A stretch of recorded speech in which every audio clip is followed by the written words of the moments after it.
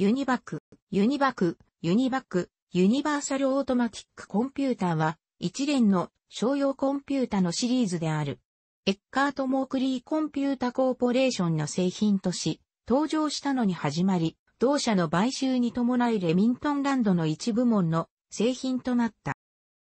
イムックが製造したバイナックは、初の商用の汎用コンピュータだった。後のユニバク1107の子孫は、今日でもユニシスの製品として存続している。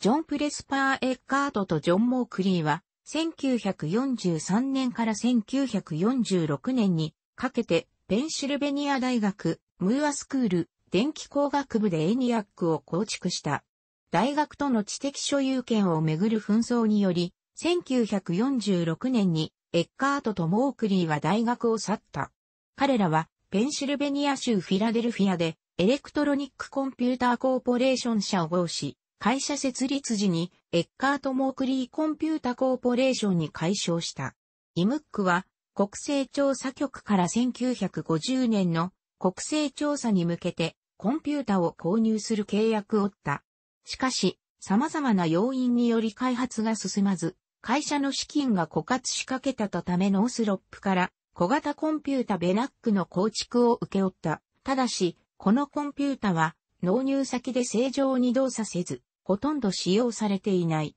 ベナック開発中にの副社長の支援を受けたが、1949年10月にストラウスが飛行機墜落事故で死亡し、アメリカントータライザーはイムックへの支援を打ち切った。1950年2月15日にイムックはレミントンランドに買収され、同社のユニバク部門になった。最初のユニバクは1951年3月に完成し、納品された。ユニバク I は1952年、アメリカ合衆国大統領選挙の結果を予測したことで世間に大きく知られることとなった。従来の世論調査に基づく予想はすべてアドレー・スティーブンソン候補の勝ちだったが、ユニバク I はドワイト・ D・アイゼンハワーの地滑り的勝利を予測した。ニューヨークの CBS のニュース部長のミケルソンは、数値が非常に歪んでいたため、コンピュータにエラーがあると判断して、その予測を読むことを拒否した。コンピュータの予測が現実となることが判明したとき、アナウンサーのチャールズ・コリングウッドは、当惑しながら、コンピュータによる予測を隠していたことを発表した。アメリカ陸軍は、1951年に議会に対し、ユニバクの購入を要請した。ウェイド・ヒービー大佐は、上院小委員会において、国家の動員計画には、複数の産業や機関が関与していると説明した。これは、途方もない計算プロセスです。中略数百万の関係が関わっており、理解するには一生かかるような手計算や電動計算機では解決できない問題があります。日々は小委員会において、様々グループの関係に基づいた動員やノルマンディー、上陸作戦に類似したその他の問題を支援する必要があると語った。レミントンランドはコネチカット州ノーウォークに独自の計算機研究所を持ち、後にミネソタ州セントポールにある社を買収した。1953年か1954年にレミントンランドはノーウォークの作標機部門、エラの科学コンピュータ部門、ユニバクの商用コンピュータ部門をユニバクの名の単一の部門に統合した。これは、エラやノーウォーク研究所にいた人々をひどく悩ませた。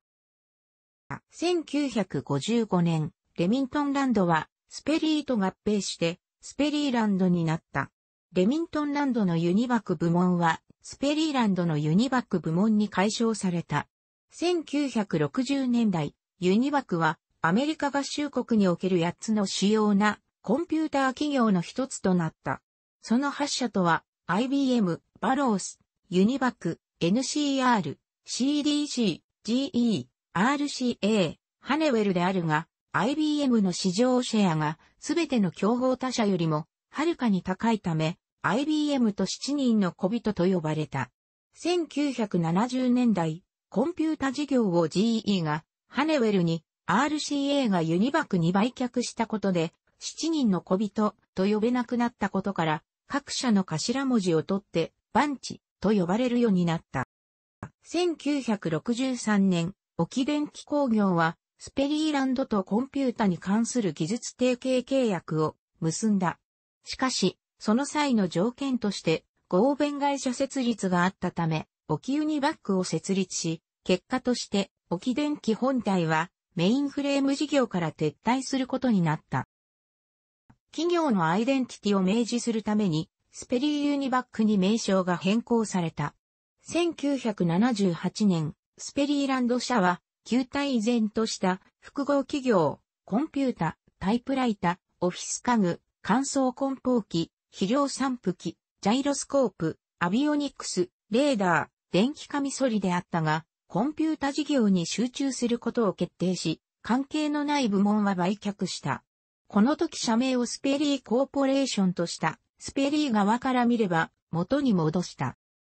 1986年、スペリーはバロースと合併してユニシスになった。これ以来、ユニシスはコンピュータメーカーからコンピューターサービスとアウトソーシングの会社へと進化し、IBM エレクトロニックデータシステムズコンピューターサイオンセスコーポレーションと同じ市場で競合している。ユニシスはクリアパスやサーバシリーズとして企業向けのコンピュータの設計、製造を継続している。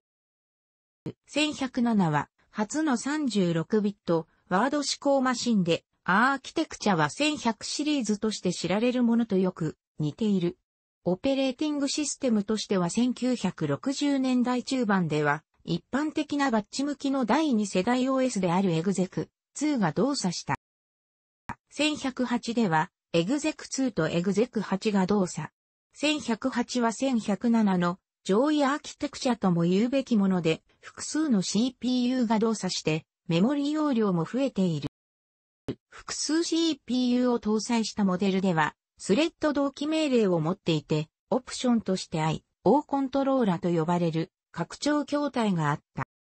1108のいくつかのモデルはワードを4 9ビットに分割する機能を持っていて、アスキーキャラクターを扱うことができた。また、エグゼク8は、リアルタイムアプリケーションとタイムシェアリングシステムと、バックグラウンドのバッチジョブを複数同時に実行することができた。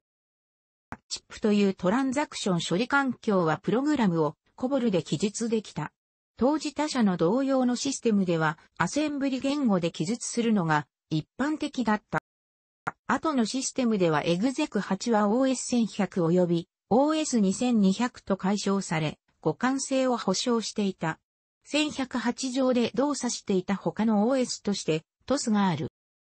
ウルトラセブンのウルトラ警備隊のシーンでしばしばユニバクのコンピュータが登場した。最も登場したのは、マシン本体ではなく MT 装置のみであった。紙テープが出力され、それを人間が直接読むというシーンがある。ユニバクのライバルの IBM のコンピュータでは、入出力は一般に紙テープではなく、パンチカードであった。ユニバクは、登録商標として、以下の企業で使われている。楽しくご覧になりましたら、購読と良いです。クリックしてください。